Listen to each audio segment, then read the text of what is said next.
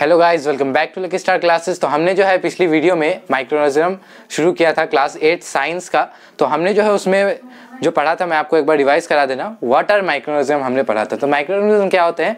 Smallest organism that can only be seen under a microscope are called microorganism और फिर मैंने आपको types of organism भी पिछले वीडियो में बताया था, जो कि था bacteria virus protozoa fungi algae तो ये आप चाहे तो इस पूरे को कहीं पे लिख सकते हैं। तो इस वीडियो में जो चीज़ हम जानेंगे वो है where are microorganism found condition for the growth of microorganism. We will know about the useful mi- microorganisms and much more. चलिए तो गाइस बिना देरी के वीडियो को करते हैं शुरू। तो where are microorganism found microorganism तो है, वो हमारा अर्थ जो है, हमारा प्यारा अर्थ इसके हर एक जगह में पाया जाता है। चाहे वो इंडिया हो ऑस्ट्रेलिया हो अमेरिका हो, कोई भी जगह, हर जगह पाया जाता है। चाहे वो आपका बेड का बेडशीट ही क्यों ना हो? यहाँ पे भी वो माइक्रो ऑर्गेनिज्म पाए जाते हैं। इसलिए हमें हमेशा सैनिटाइजर से अपने हाथों को सैनिटाइज करते रहना चाहिए, ताकि हम कोरोना वायरस के जो लक्षण है, उसमें ना फंस जाए कोरोना वायरस में ना फंस जाए। तो ये जो माइक्रोनिज्म है, आप इससे क्या समझते हैं कि ये जो है, हमारे अर्थ के हर एक जगह पे, हर एक जगह पे ये पाया जाता है माइक्रो ऑर्गेनिज्म माइक्रो ऑर्गेनिज्म इसलिए हमें संभल कर रहना चाहिए। लेकिन यहाँ पे एक बहुत ही इंपॉर्टेंट बात आती है। इन माइक्रोनिज्म में से कुछ माइक्रोनिज्म यूजफुल होते हैं। जैसे कुछ बच्चे नटखट होते हैं, वैसे ही कुछ बच्चे इंटेलिजेंट पे होते हैं और कुछ बच्चे होते हैं शातिर, जिनको हम कहते हैं यूजफुल वैसे ही ये माइक्रोनिज्म भी कुछ कुछ यूजफुल होते हैं। तो चलिए जानते हैं यूजफुल माइक्रोनिज्म के बारे में। उससे पहले उससे पहले मैं आपको बता दूँ कि हम पहले जानेंगे condition to survive a microorganism microorganism microorganism को ऐसे कंडीशन चाहिए, जैसे हम लोग को भी सूरज चाहिए, धूप चाहिए, पानी चाहिए, वैसे ही माइक्रोनिज्म को भी कुछ चाहिए। तो चलिए जानते हैं। तो आप जानते हैं हम माइक्रोनिज्म को कैसी कंडीशन चाहिए सर्वाइव करने के लिए। जैसा कि हमें नाम से ही पता चल रहा है माइक्रो मतलब छोटा ऑर्गेनिज्म मतलब ऑर्गेनिज्म जो कि हम लोग भी हैं। तो सबसे पहले इसे चीज़ क्या चाहिए? ऑक्सीजन चाहिए ऑक्सीजन जो हम लोग भी लेते हैं अपने नाक के द्वारा। तो ये आप याद रखिए कि इन्हें ऑक्सीजन चाहिए। अब दूसरी ऑर्गेनिज्म है तो इन्हें क्या चाहिए? पानी चाहिए, जिसे हम कहते हैं वाटर और इसका केमिकल फॉर्मूला है एच टू ओ ये आपको आगे काम आ सकता है, इसलिए याद कर ले।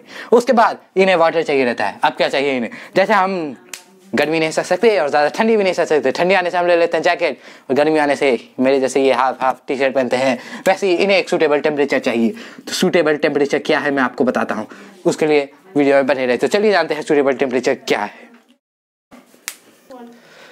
तो गाइस जैसे कि मैंने आपको बताया कि माइक्रो ऑर्गेनिज्म क्या है? हम ऑर्गेनिज्म है, वो माइक्रो मतलब छोटे ऑर्गेनिज्म लेकिन जैसे कि हम ऑर्गेनिज्म में से कोई कोई ऑर्गेनिज्म ऐसे होते हैं जो कि पैदाइशी कुछ अजूबा होते हैं मतलब अलग होते हैं। वैसे इनमें से भी कुछ मतलब कि सम जो माइक्रोनिज्म है सम माइक्रोनिज्म कैन टॉलरेट मतलब कि जो सह सकते हैं माइनस टेन डिग्री सेल्सियस से लेके हंड्रेड डिग्री सेल्सियस तक ये ज़िंदा रह सकते हैं। ये कुछ ही कुछ ही माइक्रोनिज्म ऐसा कर सकते हैं। लेकिन जो नॉर्मल माइक्रोनिज्म है, ज़्यादातर माइक्रोनिज्म आपको मिलेंगे 25 degree to thirty degree Celsius, जो कि हमारा नॉर्मल तापमान है, जिसमें हम भी रहते हैं। ज़्यादातर हमारा तीस डिग्री से ऊपर चला जाता है, लेकिन माइक्रोनिज्म उसमें केपेबल करके रह जाते हैं और हर जगह पाए जाते हैं, जैसा कि मैंने आपको बताया, आपके बिछाउन के चादर में भी, आपके बैग में भी, आपके ग्लास के होल्डर में भी, आपके हर जगह में ये पाए जाते हैं। अब जानते हैं, अब ऐसे ही माइक्रोनिज्म जो हमारी बहुत ज़्यादा मदद करते हैं, उनको कहते हैं हम यूजफुल माइक्रोनिज्म तो चलिए उनके बारे में जैसा कि हम जानते हैं, हमारे क्लास में भी कुछ ऐसे बच्चे होते हैं जो हमें नोटबुक देके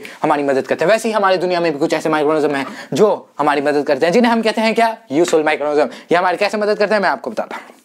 सबसे पहले तो हम, मैं आपको कुछ बता रहा हूँ ऐसे माइक्रोनिज्म के नाम जो हमारी बहुत ज़्यादा मदद करते हैं। अब जैसे कि कोई लोग बहुत दही खाते होंगे तो उन्हें ये मालूम होना चाहिए कि एक बैक्टीरिया के कारण होता है। उस बैक्टीरिया का नाम क्या है? उस बैक्टीरिया का नाम है लैक्टोबेसिलस उस बैक्टीरिया का क्या नाम है लैक्टोबेसिलस ये बैक्टीरिया क्या करता है, दूध के साथ मिलकर उसे दही बना देता है।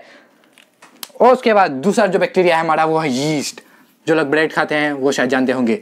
यीस्ट जो हमारा एक ऐसा बैक्टीरिया है, जो ब्रेड बनाने में मदद करता है। और ये फैक्ट्री में बहुत ज़्यादा यूज़ होता है। आपको ये फैक्ट्री में जाइएगा, पूछेगा ब्रेड कैसे बनता है? बोलेगा यीस्ट की मदद से बनता है। उसके बाद ये और भी मदद करते हैं हमारे। जैसे हम प्लांट में डिपेंडेंट हैं, हम सब जानते ही हैं। और प्लांट किसमें होता है? सॉइल में होता है। इसके लिए हमें इसके मेन जो है, वो इसका जड़ होता है। कहते हैं ना लोग जड़ ही उखाड़ देना चाहिए इसका। वही इसका जड़ होता है और मिट्टी जो है, उसमें इतनी गैपिंग नहीं होती। और ये हमारे माइक्रोजम क्या करते हैं? उसमें नोट्स बनाते हैं मतलब छेद करते हैं, जिसके कारण जो है रूट अच्छे से ग्रो हो पाता है और हमारा plant healthy wealthy and wise बन जाता है अच्छा हो जाता है, जिसके कारण हमें अच्छे अच्छे फल मिलते हैं। उसके बाद ये क्या करता है? और भी चीज़ें करता है, जैसे कि ये जो है नाइट्रोजन फिक्सेशन करता है। नाइट्रोजन फिक्सेशन अब ये एक प्रोसेस है। इसके बारे में हम जानेंगे अगली वीडियो में। तब तक के लिए सब्सक्राइब कर लीजिए। और एक चीज़ करता है ये, जो कि मैंने आपको बताया नहीं जैसे कि हम जानते ही हैं, कई सारे ऑर्गेनिज्म जैसे कि पक्षी इंसान, रोज़ मरते रहते हैं, डाई कर जाते हैं, डाई कर जाते हैं। तो ये माइक्रोनिज्म क्या करते हैं? उन्हें डिकम्पोज कर देते हैं। मतलब धीरे धीरे धीरे करके ख़त्म। और उनका कंकाल बचता है, वो भी धीरे धीरे धीरे डिकम्पोज हो जाता है। तो ये बहुत ज़्यादा हमारे लिए हेल्पफुल होता है, वरना हमारे इन्वायरमेंट गंदा हो जाएगा। और बाकी ये नाइट्रोजन फिक्सेशन जो है, वो हम अगले वीडियो में जानेंगे। तो तब तक लिए सब्सक्राइब कर दीजिए। इसी के साथ मैं आपसे अलविदा रहता हूँ। मैं मिलेंगे अगली वीडियो में। मेरा नाम है आरम Ahmad tata good bye tata खत्म।